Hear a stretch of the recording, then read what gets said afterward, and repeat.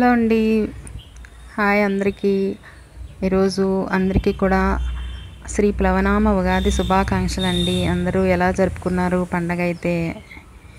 ఎలా సెలబ్రేట్ చేసుకున్నారు? ఏ స్పెషల్స్ చేసుకున్నారు అనేది నాకు కామెంట్ సెక్షన్లో తప్పకుండా షేర్ చేయండి. అలాగే ఈ రోజు అయితే ఉగాది రోజు కదండి. ముగ్గుతో నేను వ్లాగ్ అనేది స్టార్ట్ చేస్తున్నాను. ఒక చిన్న ముగ్గు అయితే వేసాను అనమాట పండగ రోజు కదా ఒక చిన్న ముగ్గు అయితే ఫ్లోరల్ డిజైన్ అయితే వేసానండి. సో ముగ్గుతో స్టార్ట్ చేస్తున్నాను అనమాట ఇక్కడ వచ్చి నేను మార్నింగ్ అండి మామిడి చెట్టు చూసారు కదా మీకు ఈ ఈ ఈ సంవత్సరం మా చెట్టుకు కాసిన కాయలవి మీకు ఒకసారి చూపిద్దామని చెప్పి వీడియో తీసానండి. సో మీరందరూ ఎలా సెలబ్రేట్ చేసుకున్నారు? అందరికీ కూడా ఆయురారోగ్య అభివృద్ధి అష్టైశ్వర అభివృద్ధి కలగాలి అని చెప్పేసి కొత్త సంవత్సరం అందరికీ మంచి జరగాలని చెప్పేసి కోరుకుంటున్నానండి. మీరు ఎలా సెలబ్రేట్ చేస్తున్నారనేది కామెంట్ సెక్షన్లో తప్పకుండా షేర్ చేయండి. అలాగే నా వీడియోస్ కూడా చూస్తున్న వాళ్ళు నా ఛానల్ చూస్తున్న వాళ్ళు నా సబ్స్క్రైబ్ కూడా చేసుకోండి. అలాగే కొత్త వాళ్ళు ఎవరైనా ఉంటే కనుక నా వీడియోస్ నచ్చితే కనుక లైక్ చేయండి షేర్ చేయండి కమెంట్ కూడా చేయండి. ఎలాంటి వీడియోస్ చేస్తే మీకు నచ్చుతుంది అనేది నా కామెంట్ సెక్షన్లో షేర్ చేయండి. అలాగే నేను ఉగాది రోజు కదండి అంటే నేను తర్వాత రోజు అప్లోడ్ చేస్తున్నాను అనమాట వాయిస్ ఓవర్ అనేది ఇస్తున్నానండి. అంటే ఉగాది రోజు కుదరలేదనమాట అప్లోడ్ చేయడము. ఈరోజు అప్లోడ్ చేస్తున్నాను నేను. మామిడి చెట్టు కాయలు చూస్తారు కదా. ఈ ఈ సంవత్సరం అయితే చాలా తక్కువ అనమాట పూత అంతా కూడా చాలా రాలిపోయిందండి. అక్కడక్కడ ఏదో ఒక పది పదిహేను కాయల వరకు అయితే వచ్చాయి. కొంతమంది అయితే మా పిల్లలు ఫ్రెండ్స్ అది కూడా ఉగాది కదండి. మామిడాకులు అలాగే కాయలు అవి కొన్ని వాళ్ళు కూడా తీసుకుని వెళ్ళారు. అలాగే వేప చెట్టు కూడా ఉంది బయట. చూసారు కదా కనిపిస్తుంది. చాలా పెద్ద చెట్టు ఉందండి. అలాగే నేను ముందు రోజు అయితే ఇలా వేపు మా పిల్లలైతే వాళ్ళ ఫ్రెండ్స్ తోటి కోసారు. ఇలా బాగు చేసి పెట్టుకుంటున్నాను ముందు రోజే మనకి. ఎప్పుడు నేను ముందు రోజు ఇలా బాగు చేసి పెట్టేసుకుంటాను. చాలా ఫ్రెష్గా కూడా ఉంది పువ్వు కూడాను. ఈ సంవత్సరం అయితే చాలా తక్కువ అండి పువ్వు అయితే ఈ సంవత్సరం చాలా తక్కువ వచ్చింది. కొంచెం మనకి పండగ కూడా లేట్గా వచ్చినట్టు కాయలు కూడా వచ్చేసాయి.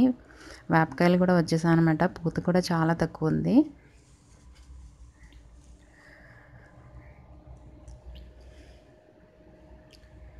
ఇలా ఈ విధంగా నేను బాగు చేసి పెట్టేసుకుంటాను అనమాట ముందు రోజు. సో నేను ఈ ఉగాది రోజు అనమాట మార్నింగ్ ఇలాగ నేను ఉగాది పచ్చడి చేయడానికి నేను ఇవన్నీ రెడీ చేసి పెట్టుకున్నానండి. చూడండి నేను ఒక డజన్ అరటిపళ్ళు అయితే పెట్టుకున్నాను. ఒక కొబ్బరికాయ ఒక పెద్ద సైజు కొబ్బరికాయ అలాగే బెల్లము ఇలాగ మా ఇంట్లోనే ఉంది కాబట్టి చెట్టు ఒక కాయ అయితే కోసాను. పెద్ద సైజు కాయ ఒకటి తీసుకున్నానండి. అలాగే కొంచెం పుట్నాల పప్పు అది తీసుకున్నాను. కొంచెం చింతపండు అది నానబెట్టుకున్నాను అనమాట ఒక చిన్న చిన్న నిమ్మకాయ సైజు చింతపండు.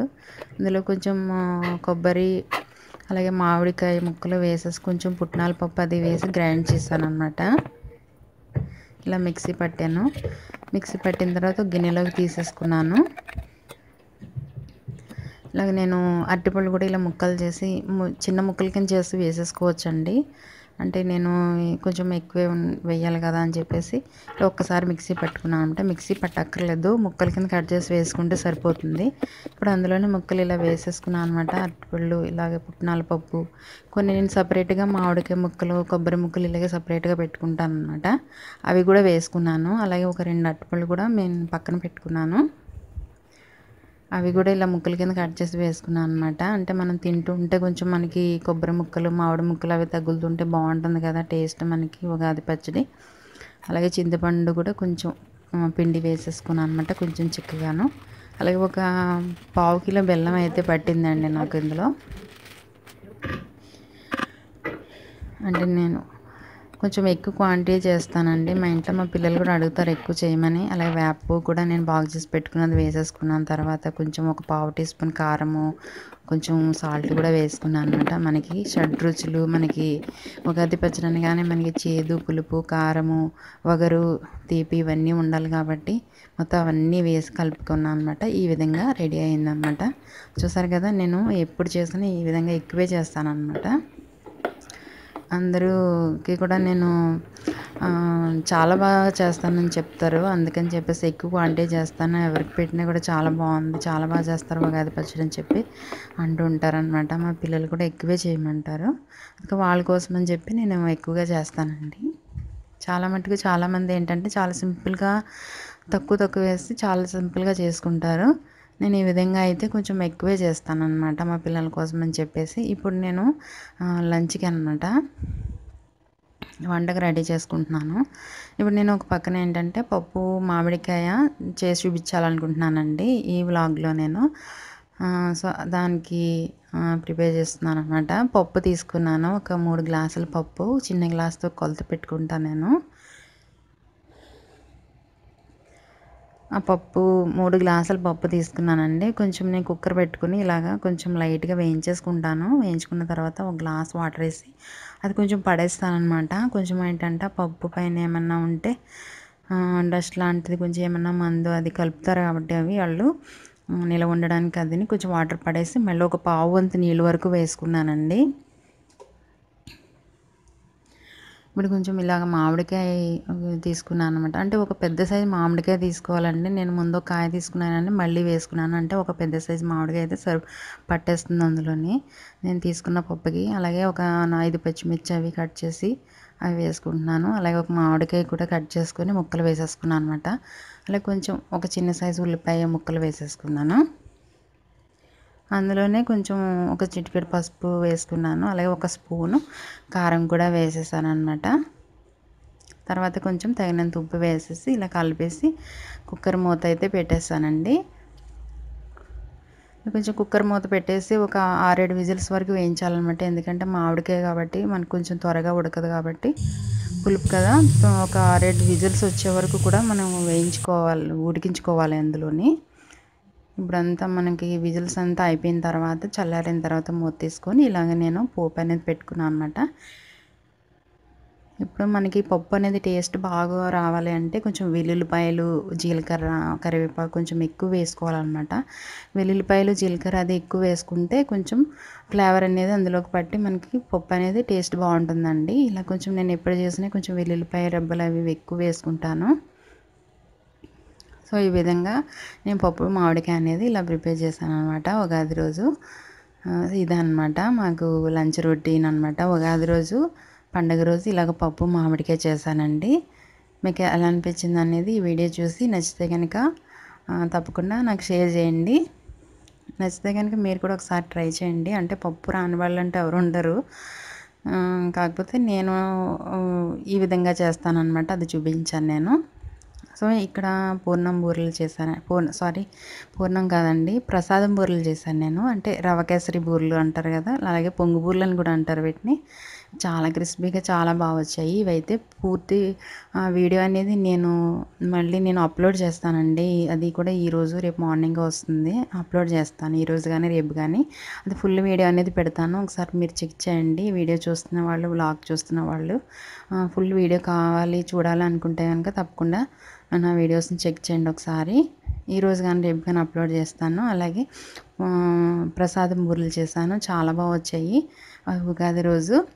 అలాగే నేను ఫ్రూట్ కస్టర్డ్ కూడా చేశాను అనమాట అంటే కస్టర్డ్ పౌడర్ ఉంది. అందుకని చెప్పేసి ఫ్రూట్స్ ఉన్నాయనుకోండి మనం కస్టర్డ్ పౌడర్ తెచ్చి పెట్టుకుంటే ఇలాగా సమ్మర్లో మనకి గెస్ట్లు వచ్చినా అలాగే పిల్లలు అడిగినప్పుడు మనం ఈ విధంగా చేసి పెట్టేసుకోవచ్చు. పిల్లలకు కూడా చేసి పెట్టచ్చు అప్పటికప్పుడు అనమాట గెస్ట్లు వచ్చినప్పుడు కూడా ఈ విధంగా చేసి పెట్టవచ్చు అనమాట ఆ రోజు అయితే ఇలా చేశాను అనమాట ఇందులో సబ్జా గింజలు కూడా వేసానండి మనకు కొంచెం బాడీలో వేడి తగ్గడానికి కూడా మనకి సబ్జా గింజలు అనేవి బాగా పనిచేస్తాయి. అందుకని చెప్పి ఈ ఫుల్ వీడియో కూడా ఇది కూడా నేను అప్లోడ్ చేస్తానండి. ఫుల్ వీడియో అనేది నేను పెట్టలేదు. చూపిస్తున్నాను అనమాట ఉగాది రోజు నేను ఏం చేశానన్నది. సో అదనమాట అండి. ఉగాది రోజు వ్లాగ్ మేము చేసిన స్పెషల్స్ ఏంటంటే అవన్నమాట. సో సాయంత్రం అయితే ఇక్కడ మామిడి చెట్టు పైన అయితే ఒక చిన్న గూడు అయితే పెట్టుకున్నాయండి అవి కూడా నేను వీడియో తీశాను. పిట్ట తేనె పిట్టలు అవి గూడు పెట్టుకుంటే పడిపోయినాయి పాపం. అవి రెక్కలు వచ్చినాయి కొంచెం ఎగిరేటప్పుడు కింద పడిపోయింది చాలాసేపు మా గు గుమ్మం దగ్గరే ఉండిపోయినాయి అనమాట అవి తల్లి పెద్దవి పెట్టెలు కూడా ఎక్కడ కాకులు పట్టుకెళ్ళిపోతాయని చెప్పేసి మేము కూడా చాలాసేపు కాపలా కాసాము మా వారు కూడా.